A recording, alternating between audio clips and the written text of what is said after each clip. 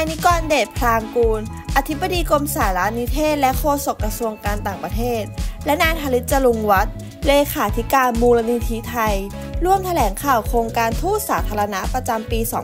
2567 Public Diplomacy Award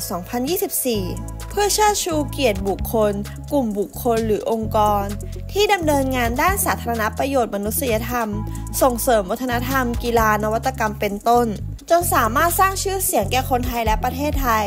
และได้รับการยอมรับในต่างประเทศ พร้อมเชิญชวนเสนอชื่อผู้สมควรเข้ารับการคัดเลือกได้รับรางวัลการทูตสาธารณะประจำปี 2567 ตั้งแต่วันที่ 16 พฤษภาคม ถึง 15 สิงหาคมนี้ สามารถส่งแบบเสนอชื่อได้ 2 ช่องทางได้แก่ ทางไปรษณีย์ไปยังมูลนิธิไทยกระทรวงต่างประเทศ หรือทางอีเมล info at thailandfoundation or th โดยจะประกาศผลผู้ได้รับรางวัลภายในเดือนสิงหาคมนี้ และพิธีมอบรางวัลจะจัดขึ้นในปลายปีนี้ วันนี้ท่านทิบดีกรมสายเทศนิกรเดชก็เชิญมูลนิธิไทยมาแถลงข่าวเรื่องรางวัลการทูต สาธารณะนะครับ มันเป็นเป็นรางวัลประจำปีของกระทรวงต่างประเทศที่ร่วมกับมูลนิธิไทย ซึ่งทำมาแล้ว 3 ปี แล้วก็ความสำคัญของมันก็คือเป็นรางวัลเดียวที่กระทรวงต่างประเทศเคยมอบให้ในลักษณะนี้ท่านทิบดียืนอยู่กับผม เพราะว่าเป็นหน่วยงานสองหน่วยงาน คือกรมสายเทศ และมูลนิธิไทยที่ขับเคลื่อนเรื่องนี้ร่วมกันมาตั้งแต่ต้นนะครับ เช่นเดียวกันกับปีนี้ วัตถุประสงค์ของการ แถลงข่าวในวันนี้ก็คือว่า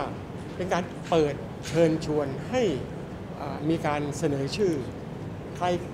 ที่ออยู่ในข่ายที่จะเสนอชื่อได้บ้างนะครับ ก็คือผู้ที่ท่านเห็นว่าโดยส่วนตัวหรือบุคคลที่ 3 ที่ท่านเห็นว่าเป็นผู้ที่ได้สร้างชื่อเสียงให้กับประเทศไทยอย่างมีนัยยะสำคัญในเวทีสากลนะครับ ก็สามารถที่จะเสนอชื่อมาเพื่อรับรางวัลเหล่านั้นได้ ขอบเขตของการอ่าทำงานของท่านที่คิดว่าได้สร้างชื่อเสียงให้กับประเทศไทยเนี่ยกว้างมากครับในด้านใดก็ได้ จะเป็นด้านที่เป็นประโยชน์ต่อสังคม เป็นด้านมนุษยธรรม เป็นด้านกีฬา เป็นด้านบันเทิง เป็นด้านนะครับอะไรก็ได้ด้านสิ่งแวดล้อมก็ได้นะครับ เราใช้คำว่าเป็นต้นนะครับ ก็หมายความว่าทุกด้านที่เชื่อว่าได้สร้างชื่อเสียงให้กับประเทศไทย คนไทยและความเป็นไทย พวกท่านเหล่านี้กรุณาเสนอชื่อขึ้นมา หรืออย่างที่เรียนไว้ว่า ถ้าเห็นว่าคนคนอื่นที่ทำเรื่องนี้ได้เป็นอย่างดีคนได้รับการยกย่องเชิดชูก็เสนอชื่อเข้ามา มีเวลาเสนอชื่อ 3 เดือนนะครับ ตั้งแต่วันนี้จนกระทั่งถึงเดือนกลางเดือนสิงหาคมนะครับ แล้วก็อยากที่จะให้เป็นบุคคลที่มีผลงานที่ฟังดูแล้วทั้งคนไทยแล้วก็ หรือคนทั่วๆไปรู้สึกว่า เออ ใช่จริง ๆ เพราะอย่างที่ผมได้เรียนว่ามันจะมีจะมี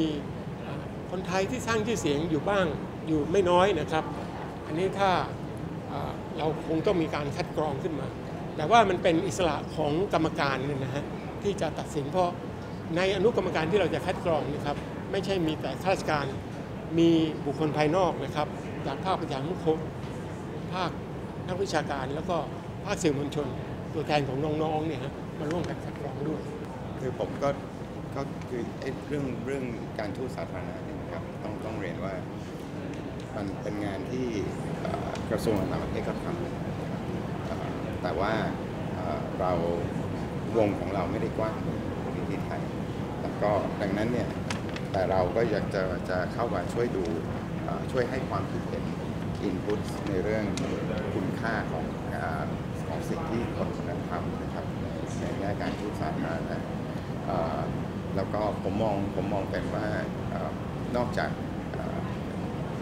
ผู้นั้นเนี่ยจะดีจะสมควรได้รับการ recognize การรับรู้ในหมู่วงกว้างแล้วว่าเขาทำประโยชน์และอย่างที่ท่านพูดทริปพูดเนี่ยเขาเขาไปไหนเนี่ยเขาเอาความเป็นไทยไปด้วยนะครับเขามันยังเป็นการสร้าง inspiration รือความต้องการที่จะทำประโยชน์ทำคุณงามความดี สร้างชื่อสร้างแฟนเบสที่ที่ที่ที่ท่านพูดได้พูดถึงตอนแถลงข่าวเนี่ยให้กับคนที่อาจจะอยู่ในมุมอับแต่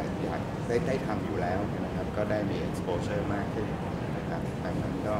ก็ผมเองนั่งอยู่ในกรรมการผมก็จะคอยให้ทุกเหมือนกับกรรมการท่านอื่นว่ารางวัลนี้ประกอบด้วย ก็มีถ้วยรางวัลนะครับซึ่งสลักชื่อไปเรื่อยๆนะครับได้ประมาณ 50 ชื่อ แล้วก็ตั้งถาวรที่กระทรวงต่างประเทศ อันที่สองก็จะเป็นถ้วยจำลอง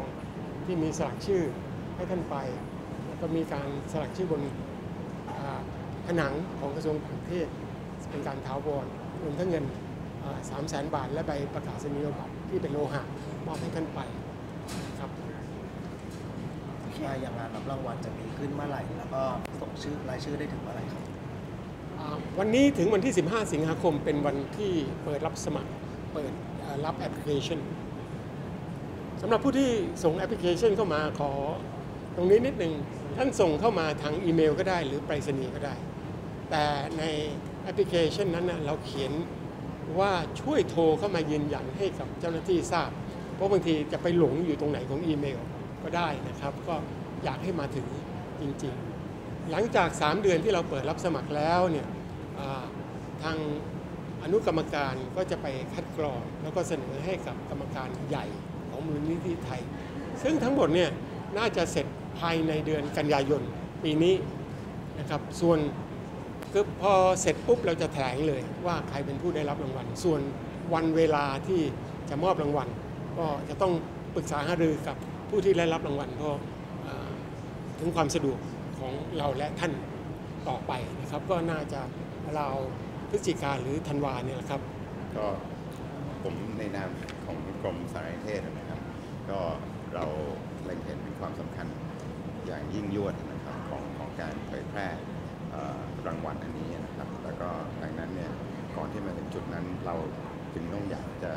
เชิญชวนให้คนเสนอชื่อ ผู้ที่เหมาะสมนะครับเพื่อให้คณะกรรมการมีตัวเลือกมี choice ให้กับการมอบรางวัลอันนี้ ผมก็ขอเชิญชวนทุกท่านนะครับที่ที่รับฟังรับชมอยู่ในวันนี้ว่าความกว้างของของการเสนอชื่อเนี่ยเกือบจะไม่มีลิมิตเลย ว่าจะอยู่ในสาขาอาชีพอะไรนะครับดังนั้นขอให้ร่วมสนับสนุนกิจกรรมนี้ แล้วก็สร้างเอ่อ ผู้ที่จะได้รางวัลการทูตสาธารณะท่านใหม่ในปีที่3เนี่ยให้ให้ให้กว้างขวางที่สุด